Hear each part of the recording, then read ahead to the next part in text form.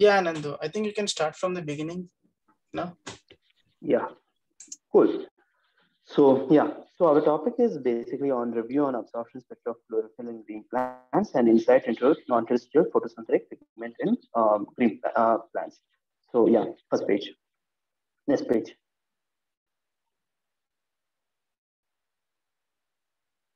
Next. Yeah. So as I said, photosynthesis can be divided into light reaction and dark reaction. The sum is what, what we call as photosynthesis. Light reactions from the name suggests uh, are the reaction which happens in the presence of light. So in this, uh, what happens is basically uh, the water is getting converted into oxygen in the presence of light. And this happens in the thylakoid membrane of the chloroplast. Similarly, dark reaction. Dark reaction is uh, from the name, as the name suggests, so it is dark. So there is no need of light. So here what happens is basically carbon dioxide gets converted into glucose molecule. And this happens in uh, this happens in the stroma, I mean uh, chloroplast, I mean stroma, uh, uh, a place of the chloroplast. So overall reaction can be said as H2O plus uh, CO2 plus uh, sunlight gives you glucose plus O2. So basically, as you can see, uh, uh, it, uh, the photosynthesis, the process also prepares the food for the plant itself, and also it uh, gives oxygen, which is very need for, I mean, which is very required for us for the respiration. And the delta G, the Gibbs energy, it is represented by plus 479 kilojoules per mole. And as you know, if Gibbs energy is a positive one, it basically means it is non-spontaneous. It doesn't happen itself. So uh, this reaction has to happen from the presence of sunlight. Yeah, next. So the entire thing can be represented by this flowchart, where you can see on the extreme right side, sunlight, you, uh, you get that O2 getting converted to H2O. That process is known as water splitting reaction. Okay. And uh, in the second side, you can see that is something which happens in the light reaction. In the center, what you see that CO2 getting converted into CH2O, that is something which happens in the dark reaction. Uh, and the right side, what you see O2 uh, into H2O, that is basically what is the respiration, which is like turning up back. So, uh, uh which is getting converted from O2 into H2O. This can be called as a carbon cycle. And this happens in all the living organisms. Yeah, next slide. Next. So now, uh, structure of chlorophyll. Uh, uh, the chlorophyll, as you know, uh, the chloro there are many types of chlorophyll. Chlorophyll A, B, C, D, E, F, G. So in that, most in the plants, we see only chlorophyll A and B highly present. And the similarly, C and D are present in other bacteria and other things. Next. Uh, now you see about carotenoids. So basically, um, I, when I will be talking about the absorption spectra, you need this uh, diagram. So just you can look into it. So basically, as you can see, there are alternate single and double bonds uh, present in this structure. Uh, so there are various carotenoids, basically beta carotenes, N-certain, uh, uh, lutein, and everything. Yeah, but just look over the double bonds and I mean single and double bonds alternate. I'll be talking. Yeah, next. The, this is the overall diagram of the chloroplast. Uh, you as you can see from the in the right uh, side, second diagram B part, uh, what the green is represented, the green dots are represented by chloroplast. And uh, this is basically, and the D part is basically thylakoid membrane of the chloroplast, which is responsible for the entire reaction to take place. Yes. Next. So this is a zoom in picture. What you see basically that stacked black color four to six layers are basically the thylakoid membranes of the chloroplast. So there are many thylakoid which is present. So each would be uh, synthesizing its own, um, uh, I mean, CO2 to CH2. So each one would be releasing oxygen. So yeah, next. So in this process, uh, we can say this that uh, sunlight, this is another one more diagram. So in this, as you see, the sunlight is getting converted. Uh, sunlight is uh, basically is uh, utilized uh, to convert H2 into O2 in the thylakoid membrane. And in that process, ATP and NADPH are these energy molecules, adenine triphosphate, are generated in the stroma. So this is something which is used in the Calvin cycle to for the conversion of uh, CO2 into CH2O. So I'll be talking this about later. So yeah, next. Now, this is basically graph of absorption of chlorophyll uh, and uh. As you can uh, clearly see, chlorophyll, uh, as you saw in the structure, so each absorption is basically depends on the structure and the conjugation of the double bonds. So uh, in the portion of the double ball. So basically in this chlorophyll A and B, basically they absorb um, a red and blue wavelength of light. So what uh, they give out is same thing, green color. So that is the reason why we see most of the plants around us are in green color. Uh, yeah, even carotenoids basically they absorb red color and they will be in kind of they'll be emitting yellow color of light. Yeah, next. Now, talking about the chlorophyll pigment, as anything, uh, uh, uh, anything if it is undergoing stress, it will undergo a change. So basically, we will be, uh, be seeing how the chlorophyll be undergoing various stress. Basically, because in nature, everything undergoes stress. The plant, when it is living in an uh, environment, so when it undergoes a stress like uh, temperature or drought, um, salinity or um, nitrogen uh, low nitrogen content in the soil, then what happens? So here you see that a dark black line on the dark black line, basically it represents the control. Control is basically what I mean. Uh, what it means is basically it is no, uh, not uh, posed to any stress condition. It is a non-stressed condition. Okay. And the uh, white color, what you see is basically in each diagram is what you see is heat. Uh, I mean, that is basically is it is given to a stress condition. So as you see the each one, you can see that fluorescence is getting, uh, the fluorescence is I for each of the controlled species. Uh, it can be either heat, I mean, temperature, drought, or salinity, or anything. So what you see is basically fluorescence is basically um, uh, the uh, de-excitation from the S2, uh, S1 state to S0 state, which I'll be talking later. But you can see that fluorescence is basically I for a non-stress condition compared to a stress condition. So there is a uh, degradation of a chlorophyll pigment when it is, uh, um, uh, I mean, post, I mean, stress to, I mean, exposed to stress factors. Yeah, next. Now this talks about the difference between the sun and shade leaf.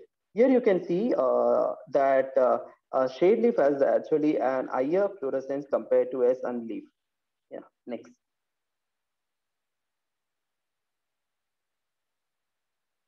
Here you see the upper side and lower side of the leaf. You can, uh, as you know uh, about the chlorophyll, I mean, uh, the way the uh, pigment, I mean, the exposed to the sunlight, the fluorescence in the lower side will be higher compared to the upper side of the leaf. leaf. Uh, and so they basically, if there is a more fluorescence, that means there is a more chlorophyll pigment which is present at that side compared to the upper side. Next.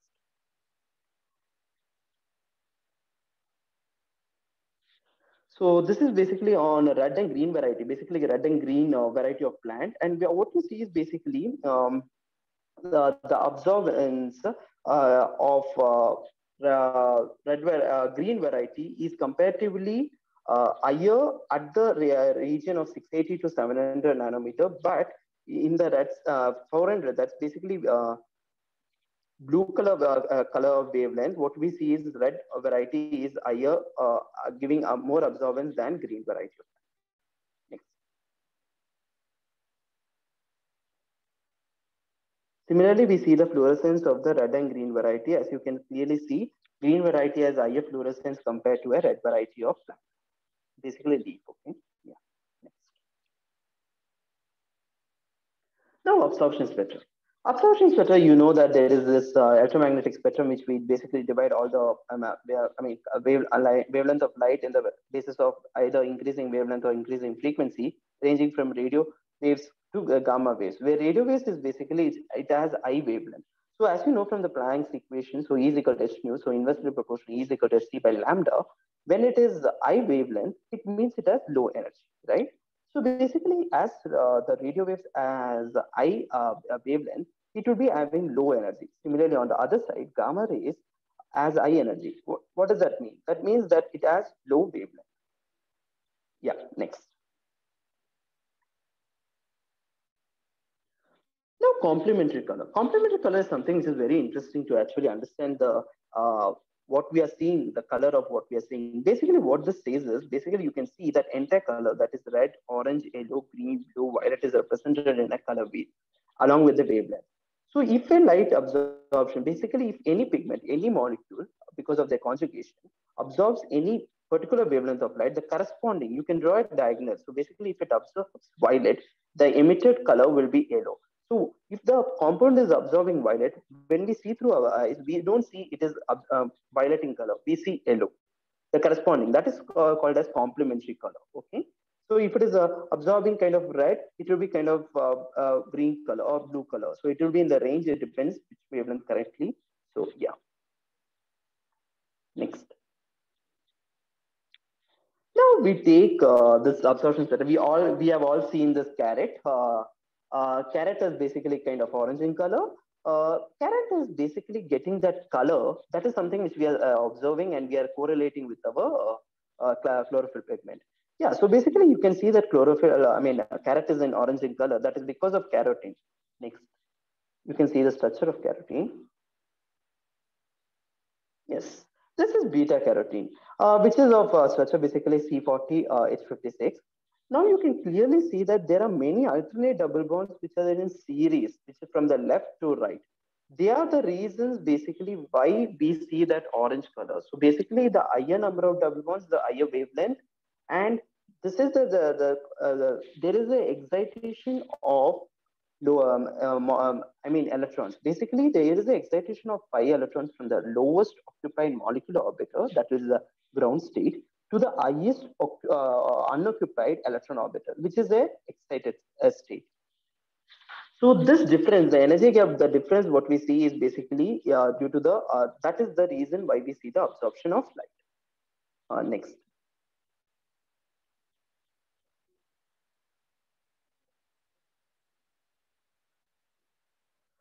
So the mechanism of absorption of light. Now we talk about mechanism of absorption. Basically now there is photosystem one and photosystem two. Okay. Uh, this photosystem one and two is basically a chlorophyll and protein complex. So at first what we see is basically uh, there is photosystem uh, uh two uh, which is starting the process and it will lead to photosystem one. As you know, as it is internal, it is basically a transfer of electrons and protons, which will lead to the process of it. What it starts is basically, um, uh, there is a, when um, there is a splitting of water, which is done by photosystem 2, okay, when it absorbs the sunlight. Um, and this photosystem 2 is basically a chlorophyll protein complex. What it does to water is basically it oxidizes the water to oxygen. Similarly, it reduces the electron acceptor. Uh, next slide. Yeah, now it is more clear what I mean. Uh, uh, so as you can clearly see uh, in the graph, uh, so uh, yeah, photosystem 2 basically oxidizes water to oxygen and it will reduce the electron acceptor plastoquinone into plastoquinol and this plastoquinone is basically, it will take the electron. What is the process? Entire process is basically the electrons uh, uh, gets transferred from photosystem 2 to photosystem 1. In that process, there is generation of ATP and uh, NADPH, which is very required for the photosystem 1 for the trans uh, for the process of uh, conversion of CO2 to CH2. That is the entire process. of Okay. So it starts with the photosystem 2, with the absorption of sunlight. And now there is a plastoquinone which will come as PQ, which can be, it is represented. And this oxidizes plastoquinone into plastoquinone. And it also reduces plastocyanin. And that is the first type, which goes with the photosystem one. In the photosystem two, and in the second, second uh, light-driven reaction, we, photo, we see photosystem one, which will oxidize uh, and it will reduce the ferredoxin protein. In that process, basically there is an enzyme called as ferredoxin NADPH reductase uh, enzyme.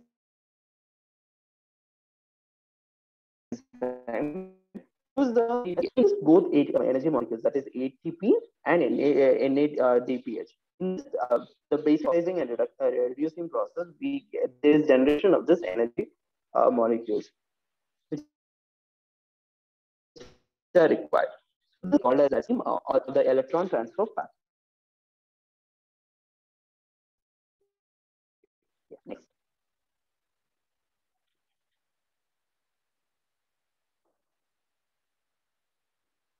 Oh, next, uh, did you see? Oh, yeah, yeah, I got it. Yeah. So now, um, as I said, uh, so um, uh, we can give a thermodynamics explanation. So basically, Gibbs free energy is the remaining uh, amount of energy which can be done, converted to a useful uh, any amount of work. So As I said, if you have observed, I said for all the molecules, there is corresponding an oxidizing process and a reducing process. So what is a redox reaction? As the name suggests, there is a reducing process and oxidizing process which is involved with that reaction. So there is something which is getting oxidized and something which is getting reduced. So uh, uh, there, uh, the scientists, uh, uh, scientists try to get an uh, Gibbs energy of the reaction, the electron transfer pathway. What they took is basically, as you know, if you want to find, the, there is a relation that is Gibbs energy is equal to minus NFE, where N is the number of electrons and F is the Faraday constant and E is the EMF, or the redox potential in this case. So we took the, uh, uh, uh I mean, EMF, redox potential uh, of the electron acceptor minus electron donor. So in the general case, we see that is e, e cathode minus E anode, but here it is taken as E acceptor minus E donor. And we see that when uh, for the left, extreme left case of the previous diagram, what we saw, uh, there is this for overall light reaction to take place, we need the water oxygen couple that uh, donor to be of plus 820 millivolt. And in the right side, extreme right, where a dark reaction happens for the conversion of CH2O, I mean, a glucose molecule, um, there uh, we need this, um, uh, the redox potential at that uh, places minus 320 millivolt. When we subtract this, we get basically, uh, so it is in the process of negative, so we get minus 1140 millivolt.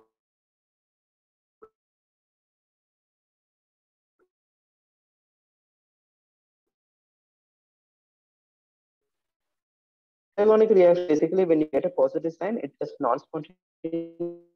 Means it doesn't happen itself. Okay. Yeah. Next slide.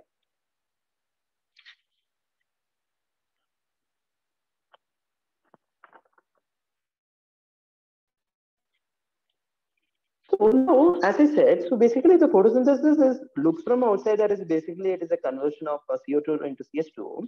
But internally, I said, as you see that there is an excitation and uh, a de-excitation, uh, and there is also a transfer of electrons. Now, this transfer of electrons can be, be um, uh, represented by a Jablonski diagram. Basically, it is a diagram which will illustrate the electronic state uh, states of a molecule and also the transitions between them. Here, S0, S1, S2. S0 is the ground state. S1 is the uh, uh, first state, which will be uh, the state which will lead only when the uh, chlorophyll molecule absorbs the red photons of light. Okay, uh, red photons of light. That is around uh, 680 to 700 nanometer. And S2 is basically uh, uh, uh, excited state, which, which, will take place only when the photon, chlorophyll will absorb blue photon of light. That is indicated by the blue color and the red arrow. So, as I said, basically as chlorophyll A and B absorbs red and blue, so they have to be corresponding red and blue excited states, right? So there are two different excited states. One is for red and one is for blue. So in the first case, what you see is basically uh, uh, when uh, uh chlorophyll molecule is incident, I mean, it is exposed to red, uh, it goes to S1 state. And similarly, if it is exposed to blue, it goes to S2 state.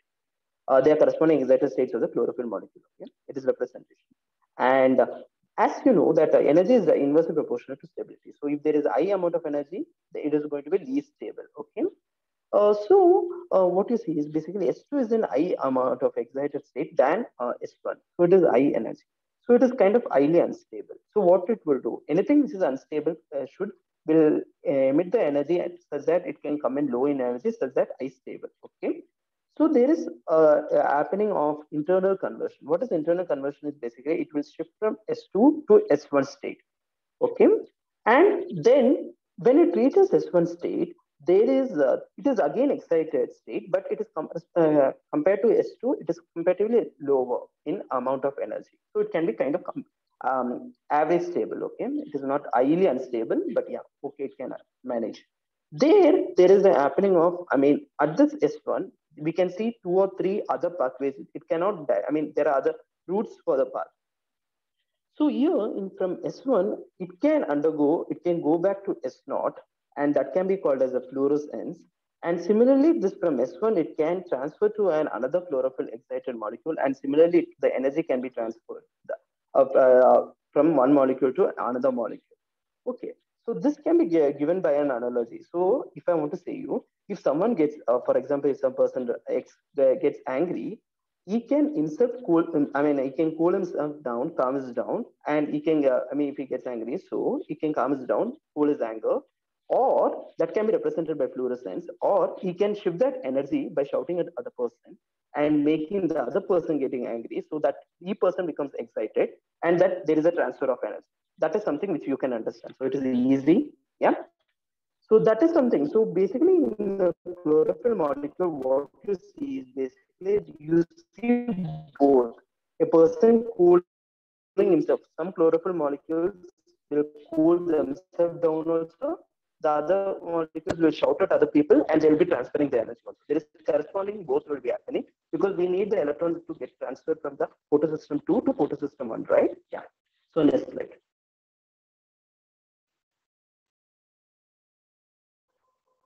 Yeah.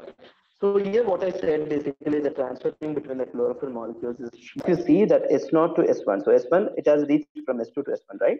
So now from S1 it can undergo to S1 to S0. That is fluorescence or it can get transferred to S1, the other excited molecule um, uh, of the uh, chlorophyll, and it, the energy can be getting transferred. And this can be uh, uh said as EET, that is uh, um, excited energy transfer.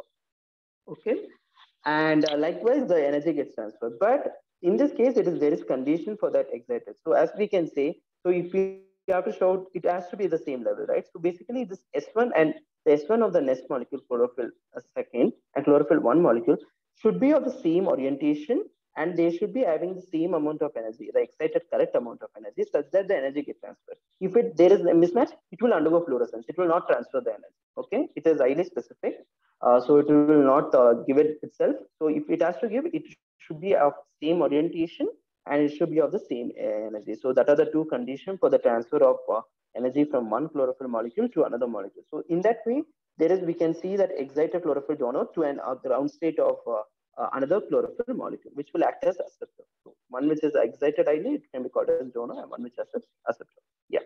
Next. Yeah. So in this, uh, uh, by this, uh, we can see that um, um photosynthesis that when Photosynthesis is a combined process of light reactions and dark reactions, where light reactions happens in the thylakoid membrane of chloroplast and dark reactions happens in the stroma. And uh, in light reaction, we see water splitting reaction, and dark reaction, we see the conversion of C, um, uh, CO2 into glucose molecule. And also we saw that how this uh, uh, chlorophyll uh, pigment, when it is absorbed to various stress conditions, the fluorescence, what I explained you now, actually decreases, okay? So there, there is a chlorophyll degradation when there is exposed to stress conditions like drought, salinity, or high temperature. And then we saw how the complementary color. So anything what you're observed, seeing now is not something which is getting absorbed, that light is getting absorbed. It is something which is light is getting uh, emitted. That is something which you see. It is emitted, right? So it is emitted from the object. So that is something what we see. And I took an example of carrot to explain the same. So what you see, so from now when you see something like uh, carrot, the orange color, that is something because of the presence of carotene molecule, the uh, double bonds, and there is the transfer of from uh, lowest occupied molecular orbital to highest unoccupied electron orbital. And uh, last we saw that Jablonski diagram, how it explains the transfer of molecule from one molecule to another. And similarly, the fluorescence, basically cooling himself down also. Yeah. I hand over to Hari for the next uh, volume two. Uh, Sagar, can you make me the co-host?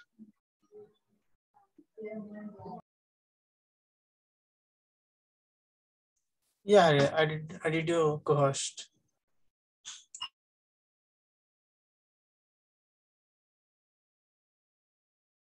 Uh, so is my screen visible? Yeah, it is. Yeah. Uh, so you have seen uh, in um, the part one of uh, our uh, work uh, in which we speak about the fluorescence of chlorophyll and uh, uh, the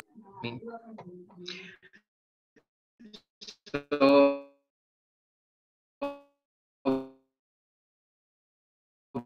we, we will look into the gap you can in okay uh, chlorophyll uh, so like in uh, our case we have there are four types of usually there are four types So chlorophyll A and B, C, D. So consider chlorophyll B and A. So here you can see that in um, in the range of around 500 to 600 nanometers, uh, uh, the chlorophyll do not absorb uh, any of these uh, wavelengths uh, strongly. Now, uh, technically speaking, if a process is photo um, photon driven or light based, then the usual assumption is the more the light, the merrier.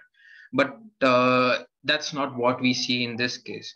So here on the in figure B, we have the solar spectrum. So the regions in the red are uh, uh, the black body spectrum of our sun uh, has seen from the earth and uh, uh, these dashed lines uh, show the visible region so when you actually see our sun being a a g2 type star um, its maximum wavelength peaks in the green region so that's somewhere around 500 to let's say around 600 to 650 nanometers.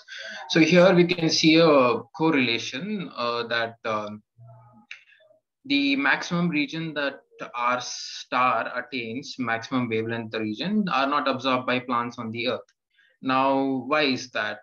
Uh, let's see further. So one reason that uh, we uh, conclude is uh, photosynthesis being a, a photopigment driven uh, reaction it can actually produce free radicals uh, in, uh, in the process of uh, photosynthesis. And free radicals, as we say, they are in excess amounts um, dangerous to the plant. So they can damage uh, cell membranes and uh, nucleic acids uh, and most important parts of the plant. So that's not what a plant that is surviving wants. So in and excess of light can also induce photodegradation and photooxidation uh, of chlorophyll. So that's uh, not what a plant would like to do. Uh, so that's one reason. On the other hand, uh, we did refer to a paper, uh, a paper wherein the researchers uh, concluded by saying that protection mechanism, the the absorption gap was a protection mechanism against fluctuation of light. So on Earth, you can actually see that the light fluctuates uh, over the day uh, from morning, uh, from dawn to dusk. Uh, so on the other hand, uh, when you uh, also the plants have evolved to prevent the damage of photocenters.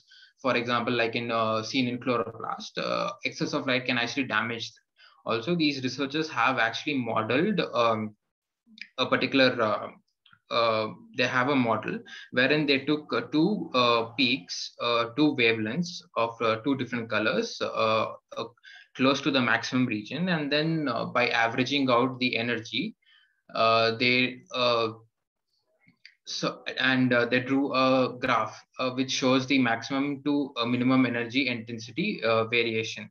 So by this, they concluded by doing so, they saw that uh, when the wavelengths, two wavelengths are much closer to each other, the, the amount of energy that a plant can receive is much more higher, which can damage the plant. But whereas if, if um, the two wavelengths are doesn't receive a lot of light and it can uh, hinder the growth of the plant. And there's this particular sweet spot wherein two uh, perfect uh, wavelengths uh, can uh, come together, can be averaged out such that the energy al almost remains the same. As you have seen, photosynthesis being a, a light-driven process does require a particular amount of energy uh, to break the bonds of water, to combine it with the, uh, to break the bond of carbon dioxide, and then to form glucose and ATP and stuff.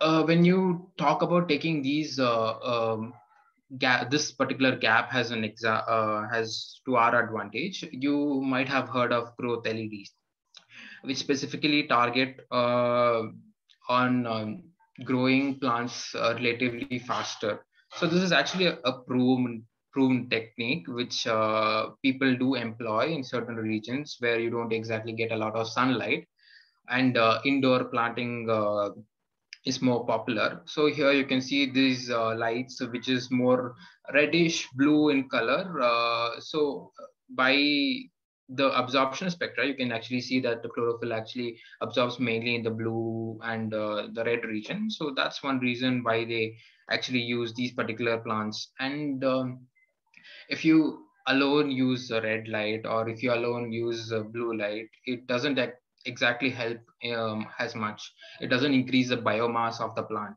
So research has been done on uh, various plants, like for example, uh, uh, important ones like soybean and stuff.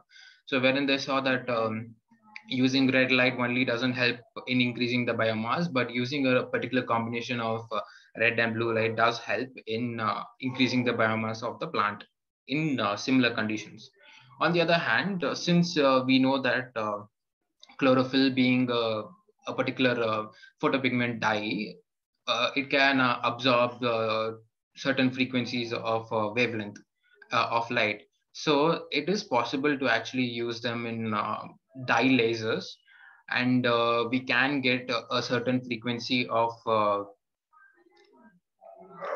a light, uh, laser light, which can be used in certain applications for certain excitation or bioprocesses or many other processes.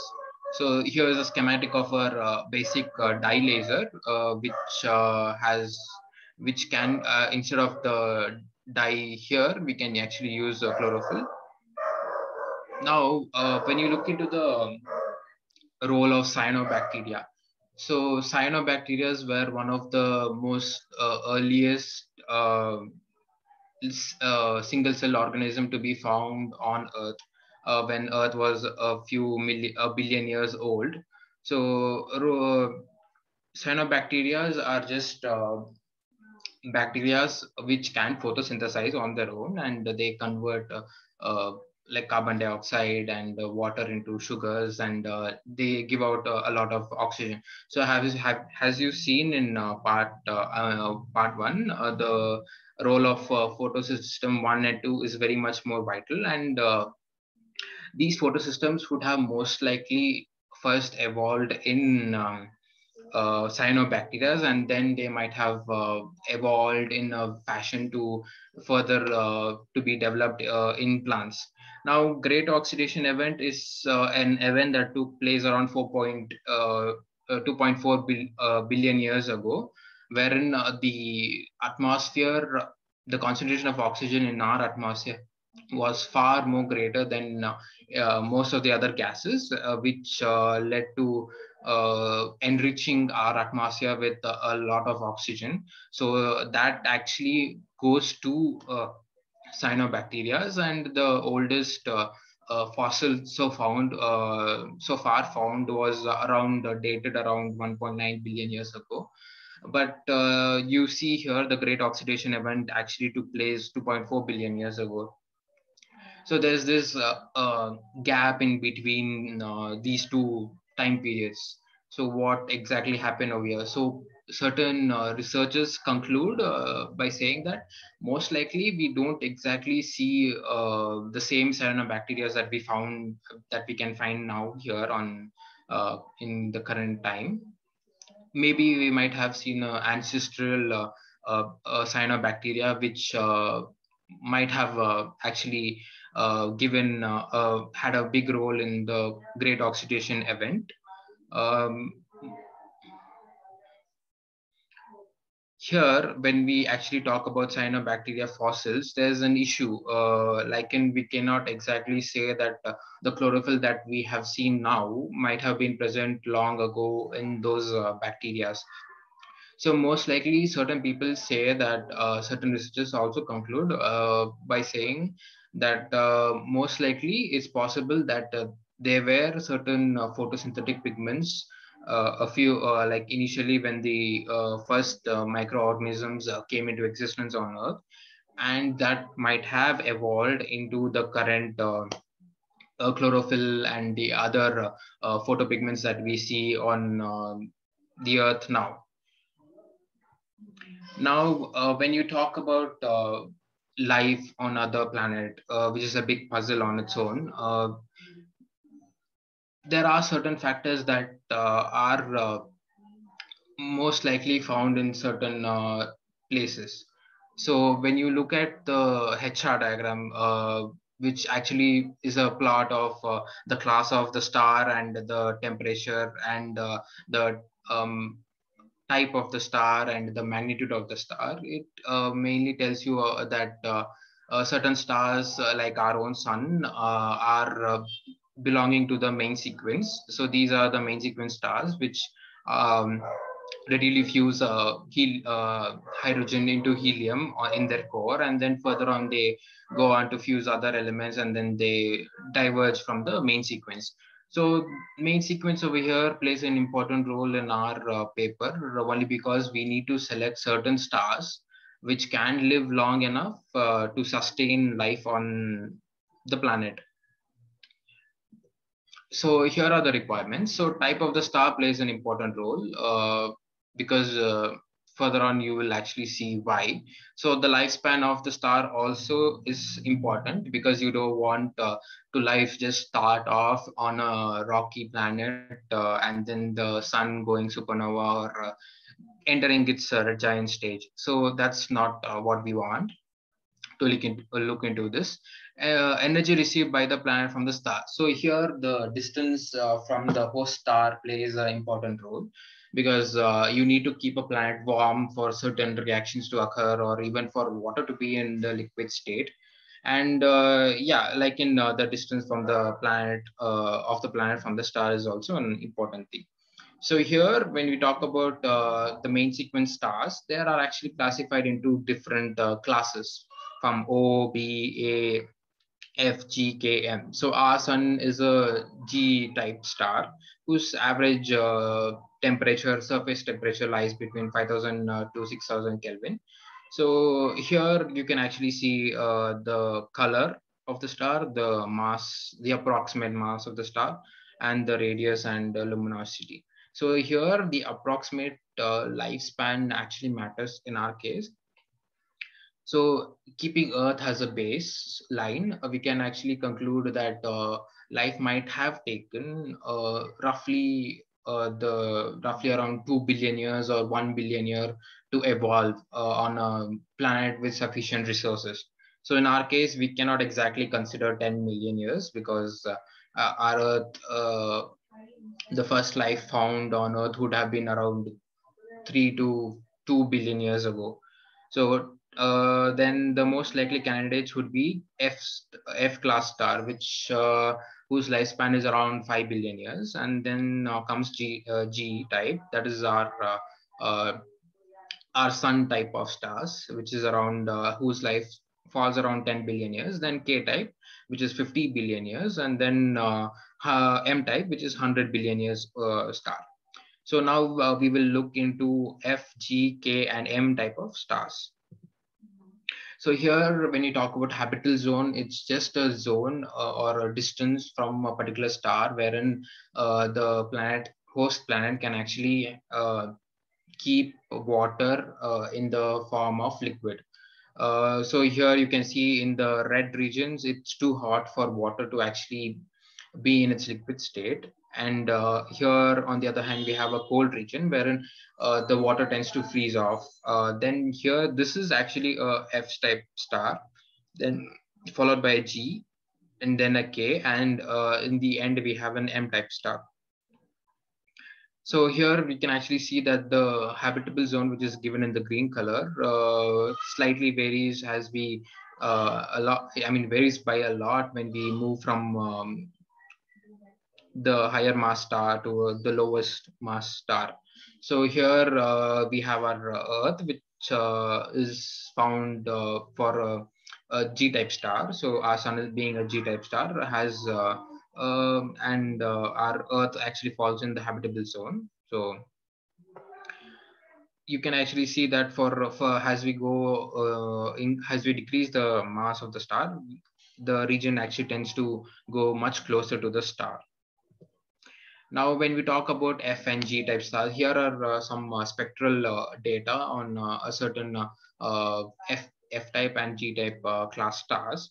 Here we can actually see that the peak region um, is roughly around in the blue region. So here in this case, uh, we can in a way conclude uh, by using our uh, earlier assumptions that uh, plants, if at all uh, the uh, plants or any photosynthetic pigment that can be found on a planet with this host star will not primarily absorb in the blue uh, blue region so it would uh, average out the energy that uh, beyond the blue region and it would look more or less bluish in color, bluish or purplish in color, because it uh, emits. Uh, uh, I mean, it doesn't absorb the blue region colors, uh, but whereas it can absorb the others. Now, uh, the perfect example for a G class star is our own sun and uh, is our own planet. with chlorophyll has a best example, as we can say so far now. So here you can see that here in this the approximately it's around 450 to uh, 500 uh, nanometers. So in this way, you can see that it doesn't exactly absorb in the uh, greenish region. So plants uh, in in general case look green in color. Now, when you talk about the other uh, class stars, uh, the distance from the star actually starts to matter a lot tidally locked zone. Uh, so this tidally locked word is just it just means that uh, the planet's one face of the planet will actually face the sun, uh, and the other face will uh, not even look at the sun. It will always be on diagonally opposite to the uh, the region that uh, looks at the sun. So our moon is a best example because most of the times you will actually see the same face of the moon uh, and you'll not see the other uh, the dark region of the moon so to say so here we have an uh, f class uh, f uh, class star. And uh, if i zoom in you can actually see this blue dot represents earth. So you can actually see for a g type star earth lies in the habitable zone. This white this white band is the habitable zone. And these lines represent the the tidal uh, radius, the tidally locked radius, so to say. So you we know actually that uh, Mercury is tidally locked uh, to our sun. So here we can see that it's beyond this band, uh, the central band. So on the other hand, when you actually see the K-type star, uh, for example, uh, its habitable zone and the tidally locked zone actually overlaps in K and M-type stars. So here we get to see uh, something called as uh, eyeball effect so wherein one side of the planet is always facing the star and the other side doesn't exactly face the star and you get to see a region uh, with varying intensity. So the side which is facing the star will have higher temperature uh, when compared to the region that is not facing the star. So you will actually tend to see a gradient when you pass over the surface of the star i mean the planet so in the case of K uh, type, here you can see that uh, a comparison uh, between uh, uh, our own sun's uh, absorptions, emission spectra, and some of the other K type stars. You can actually see that there's a small deviation difference in the wavelengths and these usually fall under the same more or less the green and the yellow region so in this case, in this particular case, um, um, we can in a way say that it is possible for certain uh, photosynthetic pigments which do not absorb this particular wavelength can uh, exist uh, using the same uh, averaging uh, energy uh, model. We can actually say that they will absorb the other wavelengths in this case and then they can actually not absorb the unwanted large bands of energy.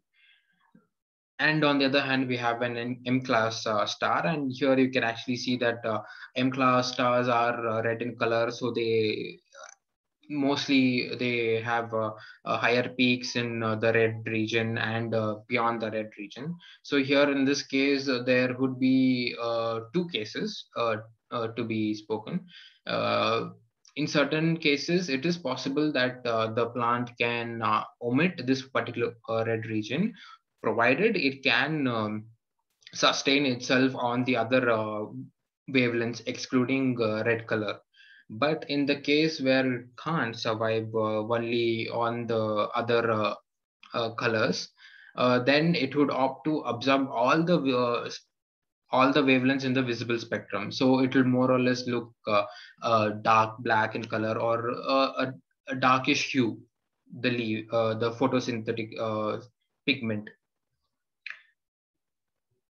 Now, when you talk about even our own Earth, it's not like we can only find chlorophyll, right? So there are many other uh, photosynthetic pigment like like um, Anandhu mentioned, beta carotenes and uh, other uh, phycocyanins, and uh, they all absorb in different fre frequency ranges and uh, wavelength ranges. So what is the main reason in this case? So it one could be an evolutionary factor, which actually plays a, a role in uh, select making these certain uh, bacteria for example or plants in certain regions uh, which are uh, stressed uh, to adapt in a certain way to absorb certain frequencies of wavelength. Because we still do find uh, uh, same um, algae of different colors. So yeah so given time and proper resources certain similar pigments can be developed even on an uh, extraterrestrial planet uh, provided given time. Because as we know that earth has seen quite a lot many extinction grade uh, events so expecting complex life would not be um, complex life similar to humans won't exactly be possible. So but in on the other hand we can expect uh, similar uh, single cell organisms to actually evolve. Like for example in the case of uh, um, cyanobacteria even on an external uh, exo non-terrestrial planet given time and resources. So now I will hand it over to Anandhu uh, to give a short note on the summary. Yes. Uh, so yeah, uh, we would like to summarize by saying that uh, photosynthetic pigments, chlorophyll and carotenoids, they basically absorb complementary color and that is what we see. And uh, so also we see that chlorophyll A and B basically they absorb red and blue. That is basically far far end, right? So basically other end. So red and blue, the low energy and high energy. And in that process, we can actually see that how nature itself has selected in the mechanisms is that they are canceling out the excess energy with the lower energy and they are trying to go with the lower energy for the photosynthesis. And also we would like to continue our further work in this complex and also as I have, uh, as we both explained. Uh, so basically if any complex is absorbing any color and they're emitting, so we see that is because of the effective conjugation. You can see between the chlorophyll molecules, there are many double bonds. Because of that presence of double bonds and their excitation is something what we see. So we would like to explore more on that and also try to get a better understanding on how uh, the threshold energy which is required for the excitation of chlorophyll molecule as we know what kind of wavelength is better for the process uh, for the process of photosynthesis. And next slide.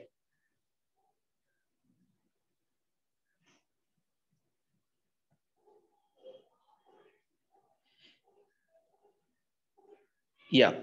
So uh, putting it correctly onto two statements uh, our future work we have two plans. So first plan is basically we want to explore why the chlorophyll has been taken as a dominant uh, uh, photosynthetic pigment across many plants, starting from the blue-green algae, as Hari mentioned, as a course of evolution in organisms like bacteria, and how it got selected, and uh, try to explore the reason and uh, try to get the better idea of it.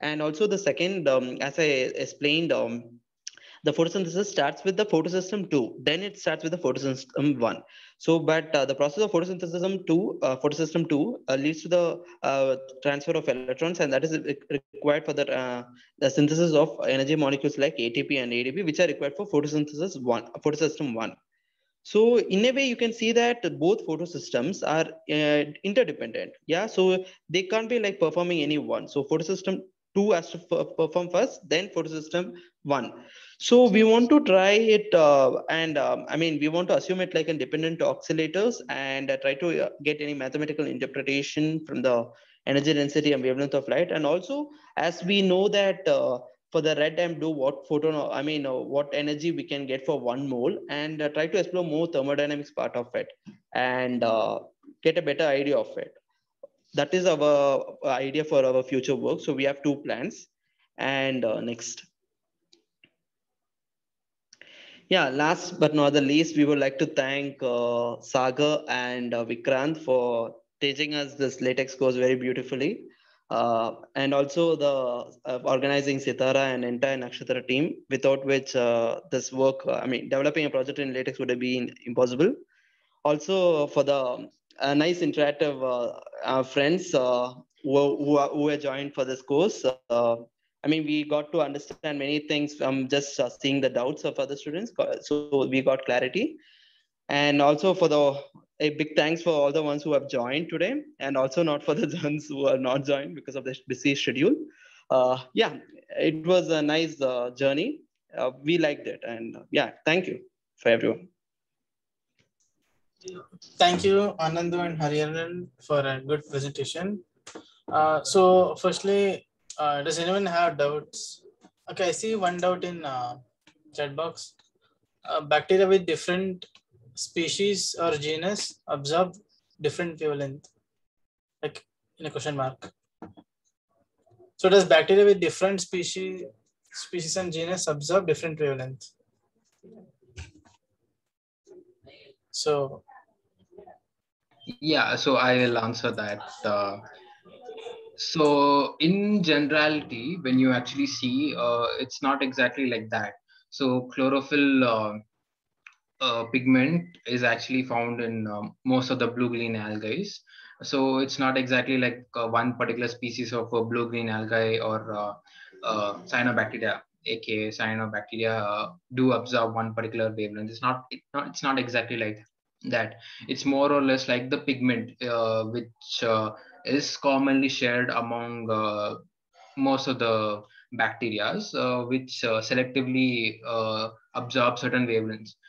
Unless and until there's a selective uh, pressure on the bacteria, it doesn't exactly absorb uh, different wavelengths. Because here uh, on earth you can actually you do find regions which have these uh, purple bacteria uh, which absorb uh, different wavelength regions so in that case they have a different photosynthetic pigment only because of their different requirements so it's mainly like a selective based thing but in our case, we started off with uh, uh, cyanobacteria only because uh, the main dominant photosynthetic pigment that you see is chlorophyll, uh, even in plants per se, or uh, in cyanobacteria, if you actually see.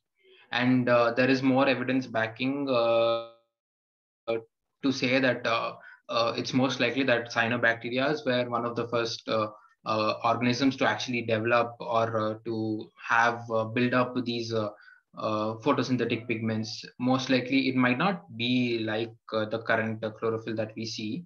It may not be, but something similar or maybe something more or less the same. Yeah. Yeah, and the question is continued like uh, also through evolution, is there any specific pattern of absorbing different wavelength that bacteria develop or something to efficiently carry activity? Uh, not exactly. When you see uh, the uh, there's no proper uh, fossil evidence to back uh, certain things because uh, these dyes, as we said, um, they do decay. they are biological, right? So they do decay over time. So fossilize, expecting them to be fossilized and then to get out uh, the structure is very difficult because the structure would determine uh, in which wavelength region does it actually absorb right so uh, when you base it off our own conclusions uh, it's most likely that uh, uh, the role of the star is more prominent overall and then uh, when you talk in uh, look into certain other algae uh, which do uh, which are found in different colors uh, in those cases uh, we'll actually see that they are underwater. Most of the time they are underwater. So penetration of light plays an important role over there. And then then we know we know that red light has more penetration over blue light so that would also be a selective kind of a thing. But overall, when you see uh, the role of the star, the type of the star, the color of the star plays a predominant role in this case. yeah, I hope that answered your question. Yeah, Hanan. So then, uh, uh, can you guys show your paper like how it is? Let's see once. So Like share your screen and Ye- go through the paper. yeah, one second. Uh, Anandhu, do you want to share first? Hello, Anandhu. Yeah, yeah, I'll share it. Sagar, can you take one question for me from me? Yeah, uh, please go on. Uh, Sagar, are, are you able to listen me, Hari? Yeah, Yeah. yeah, I'm. Okay, sir, go on. I can listen. Yeah. Yeah, yeah. See, uh, uh, it's very nice presentation. Thank you. See, as you said, uh, photosynthesis is a uh, light-driven uh, process. So uh, I just want to change the language a little bit. So let us say photosynthesis is a uh, EM radiation-driven process in blue and red wavelength regime or frequency regime. Is that correct? Yeah, yeah, Yeah, even okay. that's correct. Yeah. Yeah. So now I come to my questions. You see, over the, you see, on a diurnal cycle, entire day, so we have visible light or maybe that uh, blue and red is available only maximum 12 hours. But whereas for entire 24 hours, we have infrared and uh, higher wavelength available. It has been happening uh, throughout the history of the Earth. So any biochemical reasons why uh, the plants have not evolved which have uh, learned to uh, deal with you know this uh, higher of, uh, I mean uh, lower frequency higher wavelength, uh, infrared and beyond, rather than depending only on blue and uh, red. Uh, do you get my question? Yeah, Because, the, got. avail- because the availability of the EM radiations in that frequency range has been almost double than the what is the availability within the the, the, the within the blue and uh, uh, and red. So what, what what can be the regions?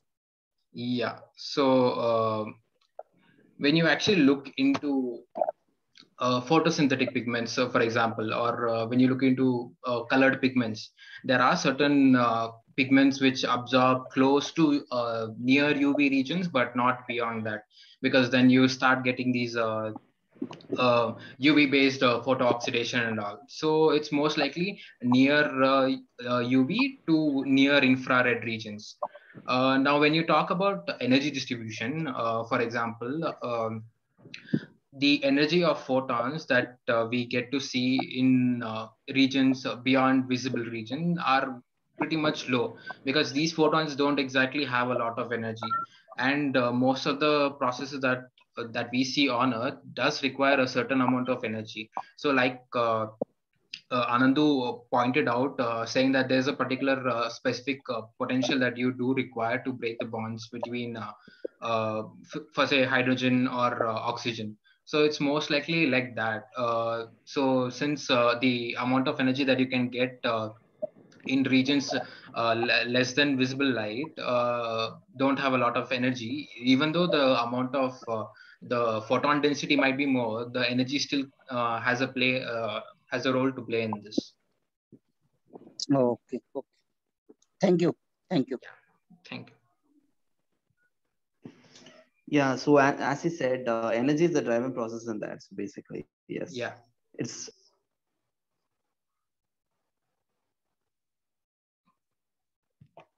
Yeah, so you guys can share your uh, paper. I mean, share your screen. yes, Yeah. yes, yes. Uh, I'm sharing it. Uh, I hope it will be fine. Yeah. Uh, this is the, can you see the uh, screen? Yeah, I can see the screen. Yeah, cool. Uh, so thank you. Yeah, so this is uh, basically a volume one paper. Yeah, uh, basically where we explore the absorption spectra and all that. And um, yeah, this is uh, so here we mentioned the introduction of photosynthesis, how it happens, and uh, the light reaction, dark reaction, the overall reaction, and also the global uh, carbon cycle. And then we move into the chloroplast and how basically from a plant, how from outside what we see, what is the inner thing which is leading to the, uh, you, as you can see from the D uh, thing uh, marked, the thylakoid membrane of the chloroplast, which is the main uh, player in our game. So as you can see now, um, so they are responsible for the, so you can clearly see from this diagram. So there is thylakoid membrane, I mean, which is represented by uh, grana, which is represented by black color stacks and the other things which are represented by kind of gray. So there is something which is happening uh, dark reaction and the stacks is something where happens light reaction. So this is the combined process of light and dark. And uh, then uh, we saw, we are seeing the different carotenoid structure, then types of chlorophyll. As I said, uh, there are not only chlorophyll A and B molecules, there are different molecules only, but uh, the, the, chlorophyll A and B are most and in majority in plants and the other ones in the bacteria and other. And the function of chlorophyll, as I mentioned, the entire chart, the light and dark. And um, there is basically a transfer of electrons, basically. So if you want to see from outside, it is just a photosynthesis conversation, but uh, from internal, it is full of transfer of electrons from excited to ground and all that. And uh, then we see how chlorophyll, when it is for, uh, for I mean, uh, exposed to different stress conditions, changes, fluorescence decreases. And this goes with the sun and shade leaf, red and green variety. And the upper and lower side. So this is basically, I took it because to uh, explain why the fluorescence decreases, particularly in that. So as uh, uh, doubt came up, it is uh, selective with respect to the energy is the driving process. And this is basically the metabolism of plants, which as the entire flow chart, I think it is, yeah. And uh, yeah, so this is the physics of chlorophyll where we basically see how particularly uh, they absorb a characteristic particular wavelength and which are required for their excitation because it's Gibbs energy connected. And uh, yeah, so this uh, this basically represents the types of chlorophyll with the presence and occurrence where we see, as I said, chlorophyll A and B with plants and C and D with algae and all that. Then we get into the absorption spectra. So as Hari explained, the global ice age time, billions of years, how it, it's converted and all. Then uh, about the plant photosystem, the Z. This is something which is very important. This is how it happens, the electron transport. Yeah. So again, it is a redox potential. From this, we calculate the Gibbs energy and get to know the transfer, electron transfer. Uh, I think this process uh, explains the entire thing. You can see photosystem two, it starts and it ends with photosystem one. So it's like driving process from thylakoid to stroma of the chloroplast.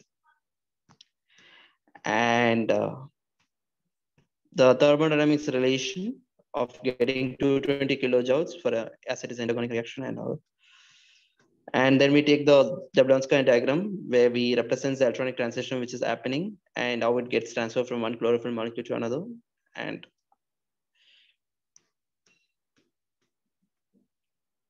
yeah, so this is detailed of S0 uh, to S1, so between. Yeah, and the conclusion, as I said, uh, the averaging of um, energy and uh, how uh, chlorophyll uh, I mean, the degradation because when it uh, undergoes to stress. And yeah, so this is my reference. Yeah, so that's it.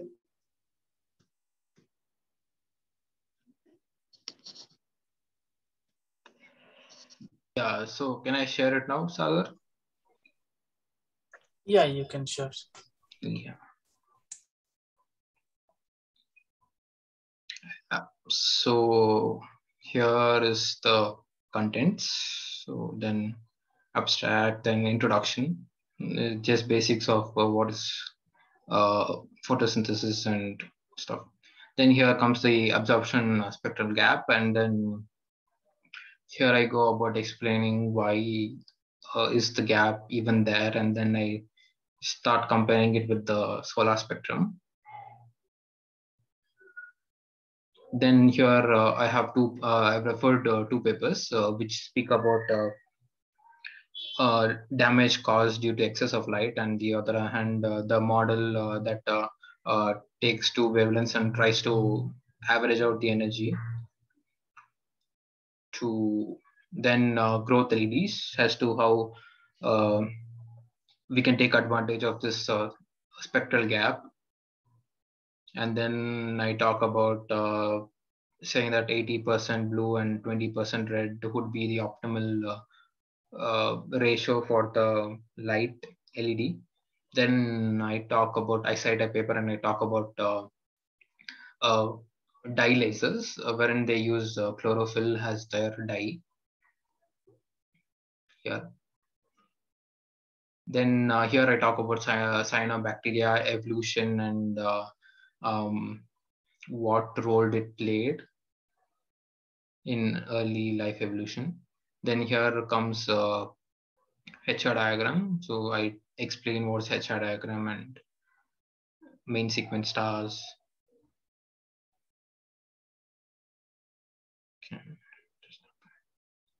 Then here I talk about the how to calculate uh, uh, life lifespan of a particular star, and then I show the table uh, which already has the all the stuff calculated for different uh, uh, classes of star.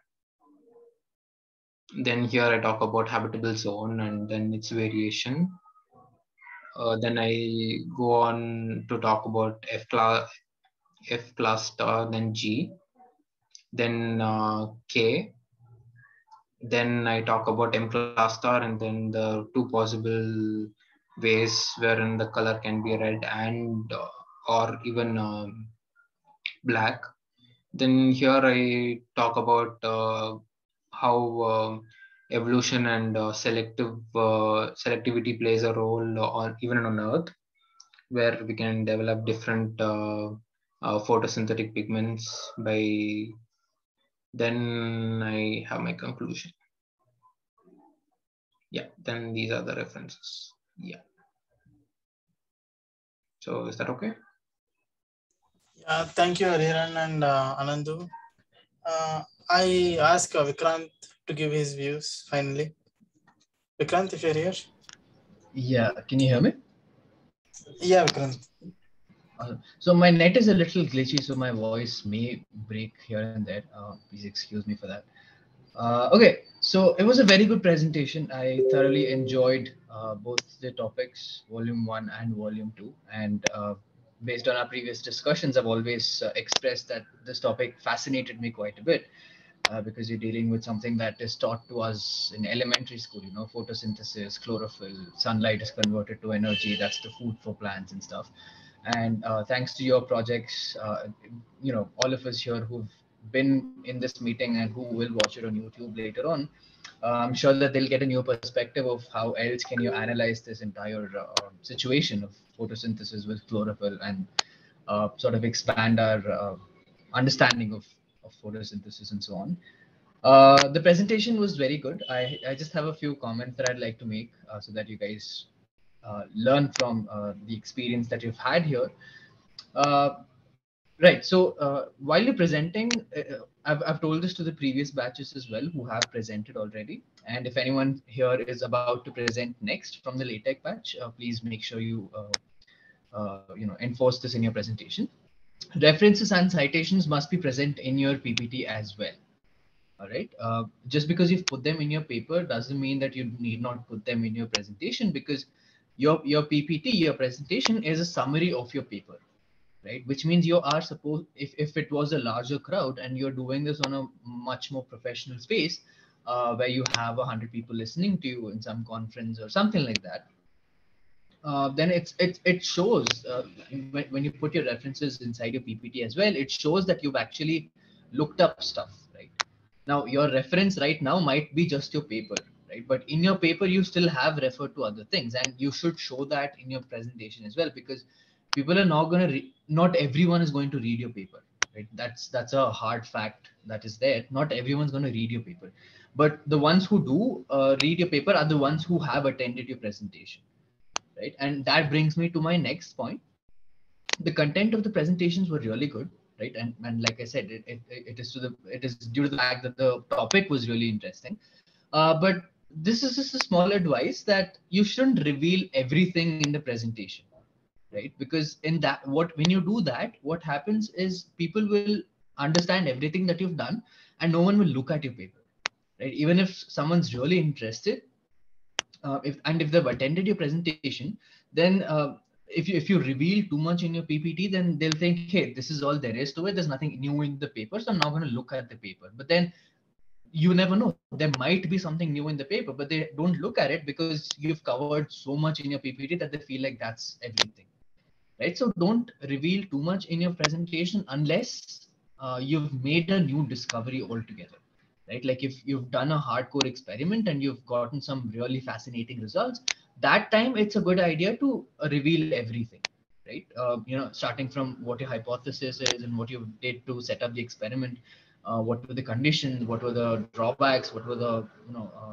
difficulties you faced and finally the, the results that, that makes sense right uh, but in a paper like this uh, and and you know any other review projects that you might go ahead and do review or reading projects uh, don't reveal everything in your presentation. Keep some surprise for your paper as well so that people actually go back and read papers. Now there's two benefits to that as well right? One is you have a shorter presentation so you can keep well with any sort of a time constraint. Second is the reader whoever reads a paper gets a habit of reading papers right so you, you it, that person starts reading papers because of you right so that's a good thing that would happen uh, for our future scientific generations um, which brings me to my next point. Uh, time constraints, right? Now, I under uh, uh, Sagar has told me that um, these these were two separate projects uh, that were presented, um, and and you know I'm sort of contradicting myself here, uh, saying time is important and I've been blabbering, but you know I feel it's important for you guys to sort of learn, take away something from this experience. Uh, time constraint is very important, so try to keep yourself as short as possible right? Uh, and and that again goes hand in hand with the fact about how much are you revealing in your presentation, how much are you talking about it in your paper. So it's sort of again a trial and error method that will help you realize how much should you present, and that will help you with your timing in the presentation. Right, because not everywhere you're gonna get half an hour or one hour to present. Some some places just give you, uh, you know, if you if you go into some intercollegiate fests at this stage, or something, uh, they give you just 10 minutes to present with five minutes Q&A, something like that. Or if it's a bigger uh, platform, if it's a national conference and there are a lot of people there, right? It's on, on international or an international conference, there are a lot of people who are waiting to present. So you barely get 20 minutes to present your stuff and 10 minutes for Q&A. So you have to be able to adapt to do, those situations by realizing how much time do you have and by uh, sort of fixing how much do you want to reveal in your presentation and how much do you leave it for the audience to go back and read your paper. Right? So that's again a trial and error thing that comes with experience and uh, I, I, feel you guys have started on that on, uh, on that road and uh, I, I wish you best of luck. Uh, my last point is uh, has to do a bit specifically with anandhu. It's a good idea to not use your phone to present that's not a good thing to do um, I mean, little. I mean, speaking a little, a little bit honest, you know, brutally honest. Uh, you, it, it's a good idea to maintain some level of professionalism. Uh, but when you do that with your phone, when you're presenting with your phone, no matter what the situation is, right? Uh, it's it's sort of degrades your presentation a little bit, right? Reason being, it's, it's quite simple, right? Your your phone has other applications that will interrupt with notifications. Right now, every single thing matters when you are at bigger stages right? Uh, and it, it is a good idea to avoid as many mistakes as you can right from the very beginning. Now what you've done here is fine right? Because this was sort of your very first very first stages of uh, presenting stuff and everything. But do keep that in mind. Uh, no matter what the situation is do not use your phones to present or do anything during a during a formal presentation right? Do not even look at your phones uh, if you're presenting in an offline session and people are looking at your face. Uh, you know even if it is to attend a call or you know just some notification pops up it's always a good idea to put it in dnd and then keep it aside right and if it has to do with presentation and if you don't have any other means send it to someone who can present like what happened today you had to send it to sagar and sagar was presenting that is still acceptable right but using your phone is not a good idea right? So um, these are the things that I had about the presentation and, and the papers look really good.